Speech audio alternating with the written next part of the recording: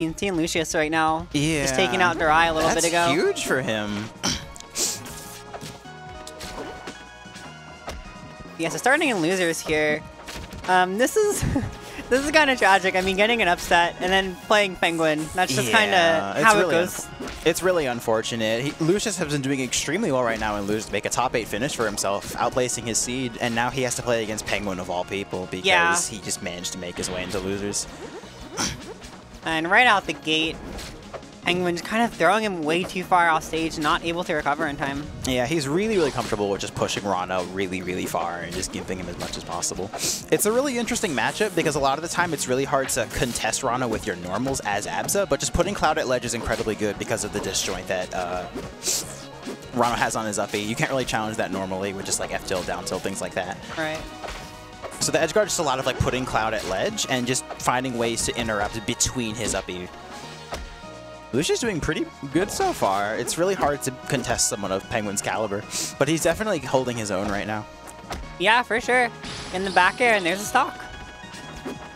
Yeah, looking pretty solid for a game one. Penguin's been demolishing a lot of his opponents recently in Yeah. terms of just incredibly strong starts off the out the gate with Uda, with my own set, and then with uh, Giga in game one where he got 2-0 to death just off the rip.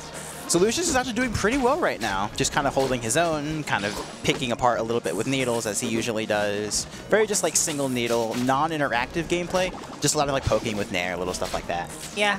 Much more methodical, Ranno. Ooh, Wow. still getting that up air through the bubble. I thought like the hit stun on that, because the bubble reduces it a little bit, wouldn't be enough, but he timed that perfectly. Mm-hmm. He's going to be able to kill, and not quite laughing in percent, but still creating a Lucius doesn't have an air dodge. Penguin tried to make the most out of it, but he sneaks by with the up B. He's doing a lot more like platform play, honestly. Lucius tends to usually be a little bit more grounded or just not like using being as fast, but he's kind of just like approaching with like landing bear a lot in order to just like shark penguin's approaches. Contest that up special, which is a huge part of dealing with this matchup. Contesting it with needles, contesting it with nair, just some lingering hitbox to be able to snipe Absa when she does her up B teleports. Yeah, definitely, because Ranno doesn't really have disjoint to just outright beat it out. So kind of just got to block that area Yeah, definitely be pretty difficult, especially finding a way to not do it in a super committal way where you might accidentally trade with like up tilt, for example. Mm, Right. He's just having really good feints with these upbeats where he'll just kind of like do it and then fade back. He managed to get by at ledge on the right side with that. A Penguin off stage, getting hit by the Thunderline. His, these tongue slings have been really good for Lucius, especially with his set with Durai, where he just kind of uses those. The thing is, if he whiffs them, then he gets to be able to just sling off of it. But if he hits, he gets a tongue. With Thunderline catching him off the side, Penguin taking game one. Lucius not doing too bad, though. Yeah, honestly, not bad at all. Just considering, like, you know, it is Penguin. There was some good stuff there. Yeah, when you're playing a player of his caliber, just being able to, you know, hold your own and keep up with it's important. He misses the tech there, and it costs him. I wonder if he just didn't think he was going to get hit. Because honestly, I might have done that. I might have just misread the situation. yeah, classic Penguin edge guard right there, just hitting him once and three fair chains. It's really hard to drift, and a player of his caliber will just nail that every single Mm-hmm. time. Yeah, no, that was seven second stock, but it's like three moves. But at the same time, like, I probably would have died there. Yeah. It's really, really hard to get the drift on that perfectly, because if you hold in, he'll just up air. If you like drift too far hard out, you'll get hit by like two fairs and then die off the side. Mm-hmm. Getting that perfect drift is really, really hard to do, and sometimes if he can catch that and respond to it properly, you just die no matter what. Yeah, it's not like he just has to do fair. You can also use other aerials, particularly up air. Yeah, I've even seen like a little bit of sour like dare and then pop him up for another fair, or Mm-hmm. like reposition like he did getting a sour fair and then a sweet fair afterwards. Right. Let's talk about the stage pick though. I know Lucius loves Spirit Tree and it's a it's a Ranno staple, but at the same time, it's also a very strong Absa stage. Yeah, I mean, I feel like Lucius is getting kills off the side, which I mean, this stage has small blast zones all around, but it is most infamous for its low top blast zone, which is gonna really benefit Penguin because we haven't really seen a lot of F strongs coming out. Yeah, those are mostly out of like parry punish shows or maybe like to catch a tongue sling going in. But for Right. the most part, it's mostly just been like kills off the sides, apart from that thunder line at the end of game one. Lucius doing his very known for his bubble stalling. Catch, yeah, you never want to air dodge or jump up there. It just perfect bait for Absa to just go for an up air. If you mm. get fared a couple times, they're gonna just and they don't can't really catch onto it. They'll just try and bait the air dodge up and then just catch you with an up air. Just like that. That jump there, Lucius almost like got in a really bad situation there. Yeah, getting the parry, Ooh, but mistimes that. yeah, not killing. Sweet Spot might have done it. It's like if he charged it a little bit more and had more time. Yeah. Fair. They were seeing a good drift coming out from Lucius. He's trying to catch the tech chase out there, but Penguin kind of mixes them up.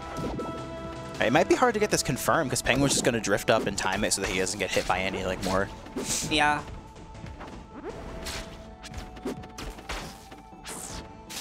He's doing a good job just kind of keeping his stage control in the center, just kind of like mixing up his movement. Very, really, really good from Lucius. Holding his own here in this game too. Yeah. He's- A stock situation.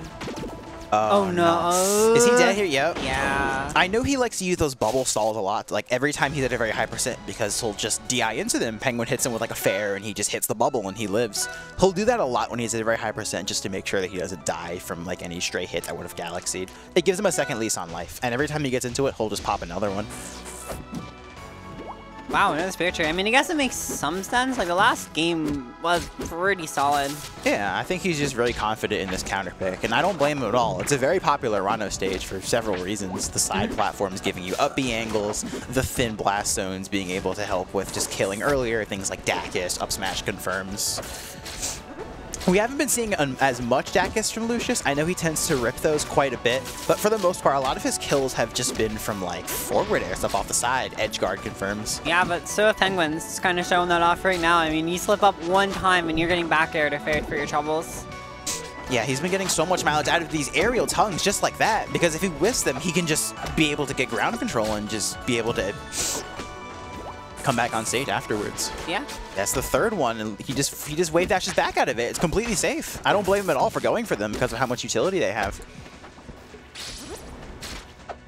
Penguin trying to come up high. Gonna get hit, but not die. Just getting thrown across, uh, across the stage.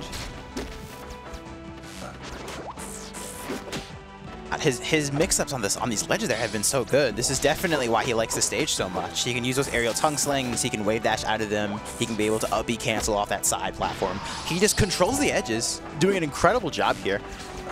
Yeah, definitely. And I mean, the overhang flats too, they're just useful in general for a character's recovery. Isn't really that strong like Ranno, is just kind of mediocre. Yeah, it's really, really linear for the most part, unless you mix up with bubble stalls, which other Rannos have been doing a lot. But for the most part, Lucius has been making the most of it and just keeping it tricky at the sides. Mhm. Oh boy. Sag guard scary. Got a sweet spot. Oh, yeah, Lucius drifts out really hard on that, and Penguin knows he can't just challenge that straight up, so he puts the cloud there for safety just to try and catch the landing. It's definitely good recognition to just kind of immediately react to like, okay, they drifted this well. Like, I- I'm just gonna wait. Yeah, absolutely. He realized that he can't just overextend on that. Really good runoff air there. Really good parry. Incredible awareness from Lucius. Yeah, again, keeping these games like pretty even. Just gotta get one more stock and you'd have a game on the board. Yeah, he has a ton of experience with the Absas here in Tri-State, but a player of that's as good as Penguin, I don't think he's been able to play as you know as many apps at that level, especially when it's basically just him and Proda and Nakashi Yeah. next to them. But with just Penguin specific, you have to know how to deal with his stuff specifically because no other Absa does this. For sure. Keeping it incredibly close right now and just being patient, stuffing out Penguin's attempts to get back on stage, Nair, Bair. Pretty good. That was a good tongue sling option there because it would have been safe if he didn't get interrupted. Ooh, catching the roll. Yeah. Penguin puts out his fist before he even does it because he just knows he's going to roll in. This is the sheer confidence, but doesn't make sense. Uh, still again, really good stuff to lose. Just like keeping all those games, especially that last game close. You know, there's a a real chance that that ended up going to him. But uh, Penguin determined to go on a tear right now in this losers run. Yeah, the awareness on that parry was incredible on his part.